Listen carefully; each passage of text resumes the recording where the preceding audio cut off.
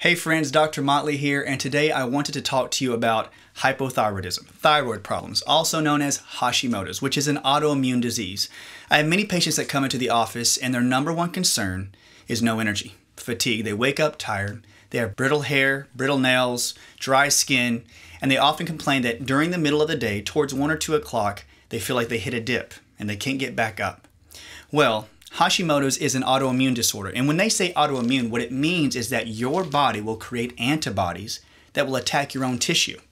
There's a couple of theories out there. Research scientists say that thyroidism, hypothyroidism, can be caused by hidden infections such as viral infections or bacteria that actually hide within the tissue of the thyroid.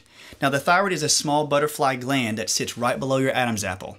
And during the day, all your blood volume passes through your thyroid once a day. So if you get an infection in the body and it gets into your bloodstream, they have seen that these infections such as Epstein-Barr virus or cytomegalovirus, papillomaviruses, strep, staph. Have you ever had a strep infection when you were a kid? They say hidden infections can actually get into the tissue of the thyroid and camp out there. And when your body sees the hidden infection within the thyroid, it does all it can to go and attack the infection. So your own body will start to attack your own tissue. So they're saying that if you clean out the infections, then you can actually help heal the thyroid. The thyroid can start gaining strength. Now, when we talk about autoimmune issues within the thyroid, we're talking about the body's ability to actually create thyroid hormone. So if you had a hidden infection, or if you had a genetic condition which actually drained your thyroid of hormone production, your body needs those hormone signals that come from the thyroid to signal to the rest of the body. All the cells in your body need those signals from the thyroid to start to create energy. So let's put it this way.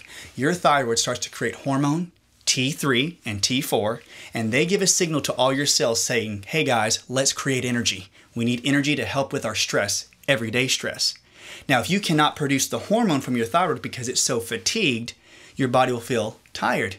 You will have different symptoms such as constipation, digestive issues, the dry skin, brittle hair, brittle nails. So what does the doctor do?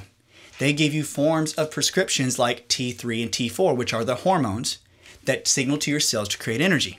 So, in my office, I don't want any individual to feel bad that they have to take a thyroid hormone or a prescription. In fact, I have many patients that take both. They'll take a prescription and natural supplements because the body needs vitamins and minerals to help rebuild the thyroid tissue because if you have had a, a life of stress or trauma, which many of us have, and deficiencies in nutrition because we live in such a fast paced world, you combine all those together and what do you get? Low thyroid function. So I want you to know that with hypothyroidism, you can see healing if you supply the right amount of nutrients, take the body out of certain stressors in your life, and if you have to take a prescription, you won't have to take it all your life because I've seen hypothyroidism, I've seen Hashimoto's actually be reversed. Because in your blood work, they're going to look for antibodies against your own thyroid. And I have seen many of my patients get back to where they have no antibodies against their own tissue.